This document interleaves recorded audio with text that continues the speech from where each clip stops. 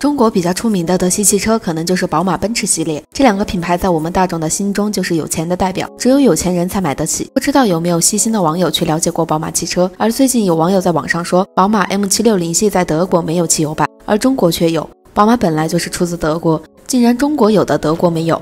这可真让人新奇。这位网友还在网上说的这件事，让我们不能理解的事情。宝马七系在德国一共有十几个车型，其中柴油版占据了八个，剩下的都是混合动力，没有一个是纯汽油版的。而且不仅仅是七系的汽车没有汽油版，宝马其他系的汽车也都是柴油的，这就让人很不能理解了。其实这是品牌高层的主意。对于我们中国来说，汽油是占据了很大一部分的比例的，如果不生产汽油版的，就很有可能占据不到市场的优势。